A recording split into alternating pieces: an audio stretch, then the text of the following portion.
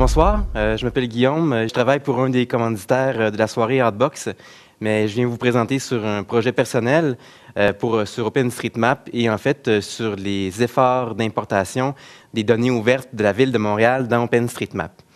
Euh, donc, euh, ce soir, euh, je vais vous présenter ce que c'est OpenStreetMap, ce que sont les données ouvertes de la Ville de Montréal et certains scripts que j'ai écrits pour pouvoir convertir ces données-là dans un format qui va nous permettre par la suite l'importation dans OpenStreetMap. Donc, OpenStreetMap, c'est une carte. C'est une carte comme on est habitué de les voir sur le web. Et sur cette carte-là, on va retrouver, en fait, si je vous en fais une démonstration, euh, les éléments qu'on est habitué de retrouver, donc euh, les routes, euh, les flux de circulation, les passages pour piétons, les, points d'intérêt comme les salles de spectacle ici, où est-ce qu'on voit. c'est une carte qui est également éditable, donc il suffit d'appuyer sur le bouton Modifier on arrive dans un éditeur intégré au site web et on peut aller cliquer, par exemple, ici, on a un stationnement à vélo et puis on peut venir indiquer la capacité, si c'était 10, par exemple, sauvegarder. Bien sûr, je ne le ferai pas ici. Je ne vais pas aller vérifier encore sur le terrain s'il y avait réellement 10 vélos qu'on pouvait euh, ajouter ici. Euh, donc, on peut, on peut dire d'OpenStreetMap que c'est une carte collaborative libre, donc c'est un projet communautaire, un projet open source si on veut. C'est basé sur des logiciels libres. Euh, mais il faut voir derrière les données, derrière cette carte-là, et penser en fait à OpenStreetMap comme étant une base de données euh, et avant tout.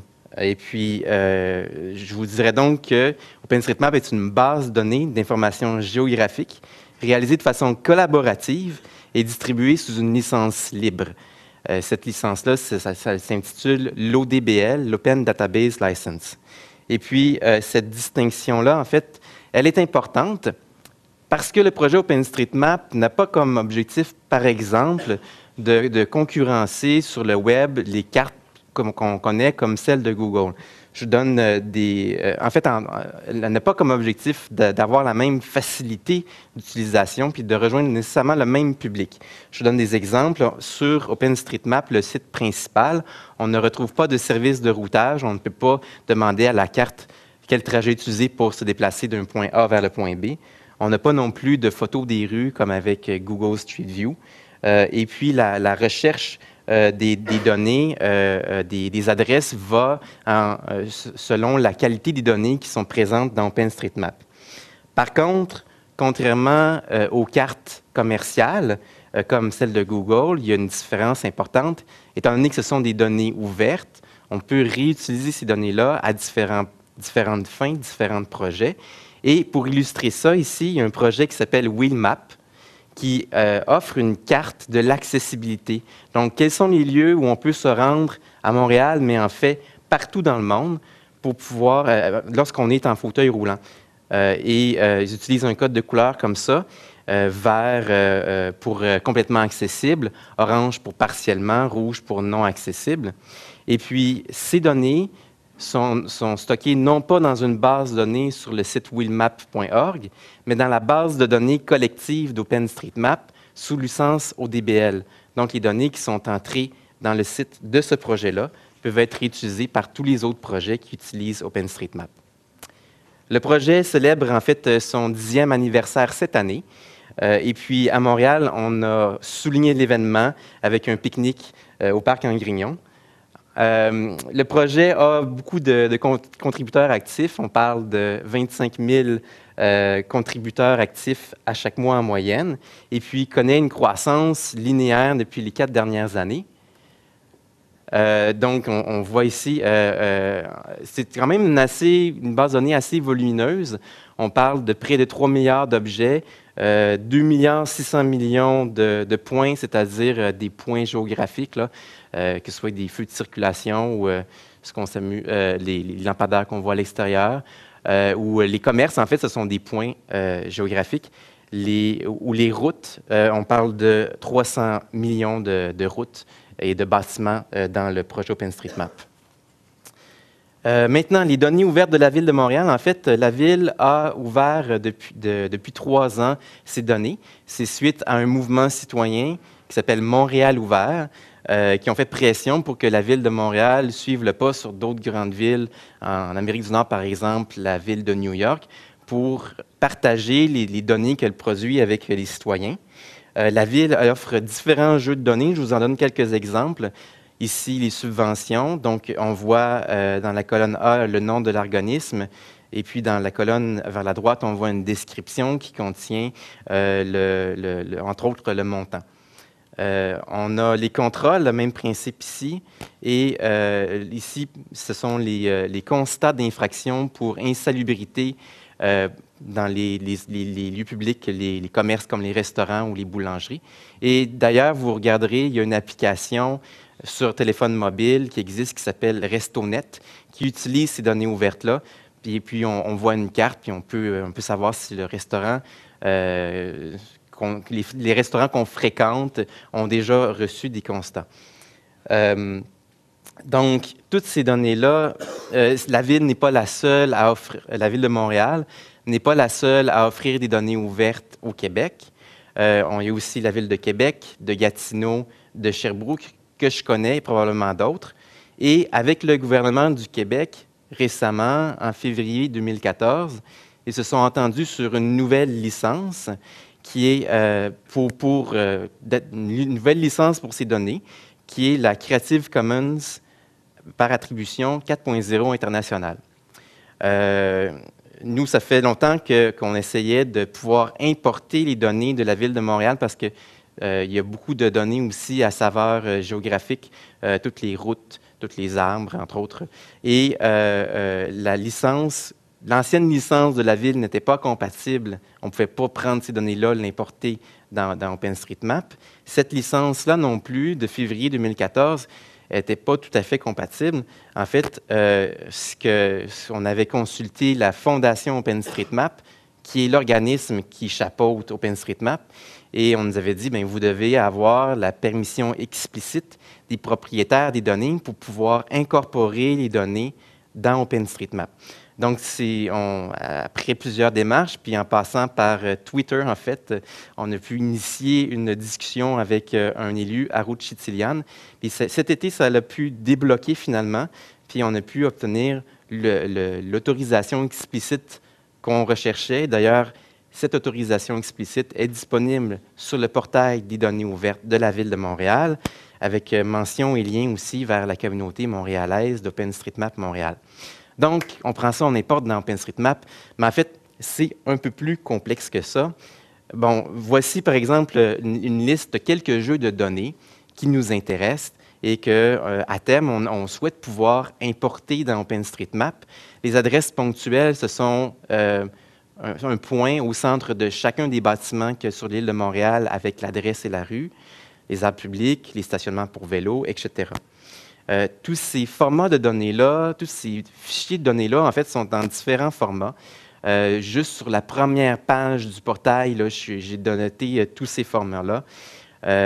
PDF, on, on, leur macra, ce n'est pas tout à fait un format de données ouvertes.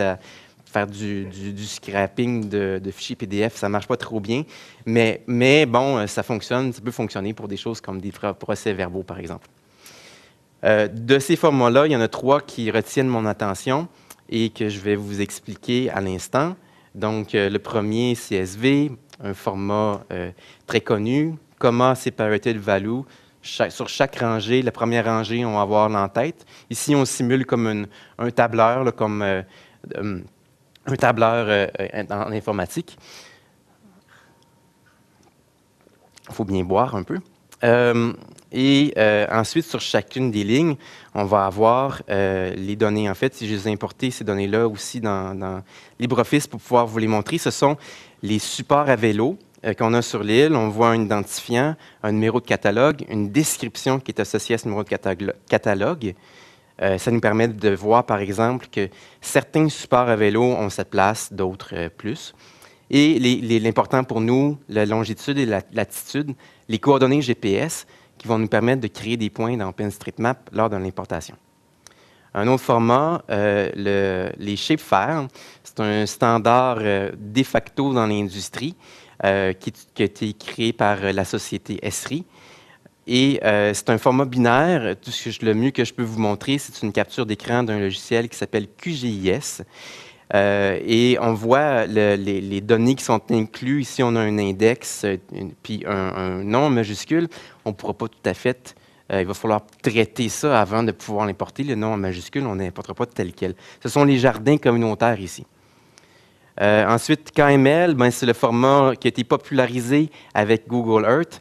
Euh, c'est un fichier XML avec des, coordonnées puis des descriptions. Et puis, voici par exemple une capture d'écran dans Google Earth. ici, ce sont les casernes de pompiers de la ville.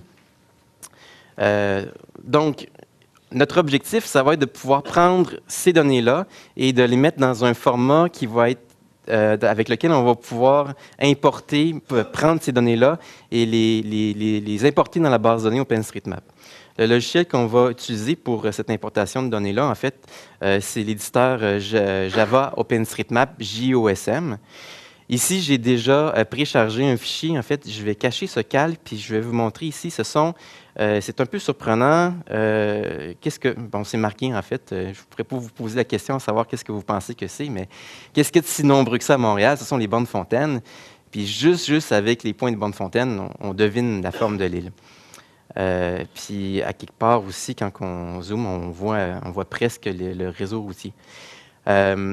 chacune de ces bandes fontaines-là, en fait, bon, on le voyait, c'était dans un fichier shapefile pouvoir, euh, euh, on ne peut pas envoyer un fichier shapefile directement dans OpenStreetMap, donc il va falloir le convertir. Euh, je vais me permettre de monter ça ici.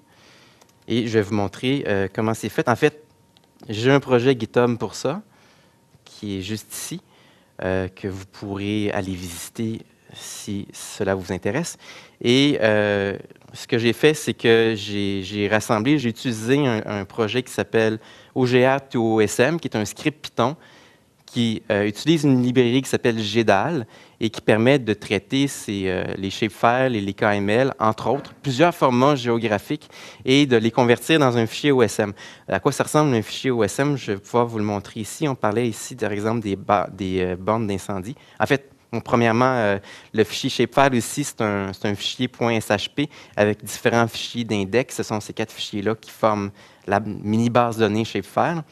Et le fichier OSM, ben, c'est un, fichier XML avec un en-tête. Et puis, pour chacun des nœuds, on va retrouver les coordonnées géographiques avec un ID ici qui va être populé automatiquement lors de l'insertion dans OpenStreetMap et un ensemble de balises clés-valeurs et ce sont ces clés valeurs-là qui permettent de catégoriser chacun des types d'objets dans OpenStreetMap. Euh, ici, les clés valeurs, en fait, c'est Emergency Fire Hydrant. C'est la façon qu'on a à identifier une bande fontaine dans OpenStreetMap.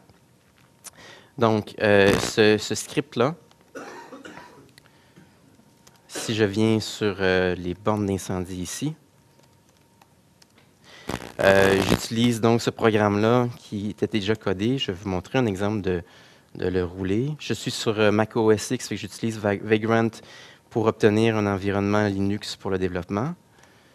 Et puis, euh, il utilise en fait un principe de, il appelle ça des, traducteurs, des translators. Ce sont des plugins, des petits bouts de modules Python qu'on écrit qui vont nous permettre de, traduire euh, les balises. Je vais vous montrer qu'est-ce que ça veut dire dans un instant. Euh, donc, euh, il va auto-détecter la projection géographique du fichier shapefile. Ici, c'est la projection utilisée par la Ville de Montréal et va écrire le fichier XML résultant dans, dans le répertoire OSM. Donc, on va avoir le, le, fichier que je vous ai montré tout à l'heure on utilise, comme je disais, un, fichier ici qui permet de, traduire les tags. En fait, ici, je, vais vous faire remarquer que c'est marqué on a la clé emergency égale fire hydrant. Je vais vous montrer ce qui se passe si on n'utilise pas le, traducteur en question. En, fait, euh, le traducteur, c'est juste une fonction qui s'appelle filter tags, euh, qui va euh, prendre un dictionnaire en entrée, qui va en retourner un autre. Et ce dictionnaire-là, en entrée, si je fais, je vais faire deux choses ici. Je vais faire premièrement un print de, chaque entrée de dictionnaire. Puis je vais retourner la même chose. Et il va se passer deux choses. Donc, premièrement, on va voir toutes les entrées, du, toutes les bandes fontaines qu'on a à Montréal qui vont s'afficher à l'écran. Et on voit que toutes ces, chacune des entrées a des balises en majuscules comme ça. Et donc, ce que ça veut dire, c'est que notre, fichier OSM, présentement, contient ces mêmes balises. Euh, donc, si je, cache ce, jeu de données-là et que je vais réouvrir le fichier, euh, si je sélectionne une des bandes fontaines, en fait, c'est ce qu'on voit ici. Mais euh, comme ces balises-là ne sont pas appropriées pour l'importation dans OpenStreetMap, il faut les traduire dans des balises qu'OpenStreetMap va pouvoir comprendre, d'où l'utilité de ce programme. Et c'est ce qu'on fait ici, euh, avec un peu de logique. Donc, euh, on se crée une, nouvelle variable à la sortie, tags, et puis là, selon la, balise des, des, statuts, selon le statut de la bande fontaine, on va lui assigner soit le, tag euh, Emergency Fire Event, donc une bande fontaine active en utilisation, ou une bande fontaine abandonnée, ou une, bande fontaine en désuétude. Il y a euh, d'autres jeux de données comme ça euh, sur lesquels j'ai travaillé et que je vais vous montrer. Premièrement, on aura le, jeu de données Les casernes de pompiers. C'est un fichier KML, donc euh, le, fichier Google dont je vous parlais. Euh, je vais vous monter tout simplement le traducteur ici. C'est le même, euh, principe. Ici, j'ai quelque chose de particulier. Il y avait certains noms de rues, par exemple, qui avaient des espaces ou des majuscules où il ne le fallait pas. Donc, je me suis fait un dictionnaire d'équivalence pour pouvoir traduire ces noms de rues. Et puis, ce qu'on voit ici, c'est dans, dans, le fichier KML, il va y avoir, par exemple, une balise description. Et en fait, euh, cette description-là contient euh, un, ensemble de... C'est une description en HTML avec des BR dedans et tout ça. Les données dans ce fichier-là ne sont pas euh, structurées. Il y, a, pourtant des champs adresses qui existent pour le, format de KML, mais la Ville de Montréal, ici, a tout simplement dompé, permettez-moi l'expression, les, les l'adresse et tout ça dans, un, champ non structuré. Et donc, il fallait faire un peu de parsing ici pour pouvoir extraire ces informations-là et les mettre dans les, tags appropriés pour l'importation dans OpenStreetMap. Le dernier que je vais vous montrer, euh, ce sont les arceaux à vélo, donc les, stationnements, euh, pas les stationnements, mais enfin les bornes de stationnement pour vélo.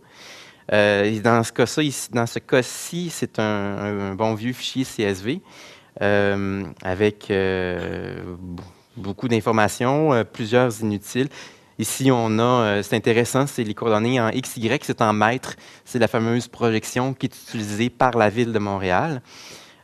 statut, ben, tout, est actif dans le document. bref. longitude, latitude, c'est ce qui nous intéresse. Si on importait tout ça dans OpenStreetMap, ça ne serait pas très utile. Donc, au niveau du traducteur, euh, j'en ai écrit un également.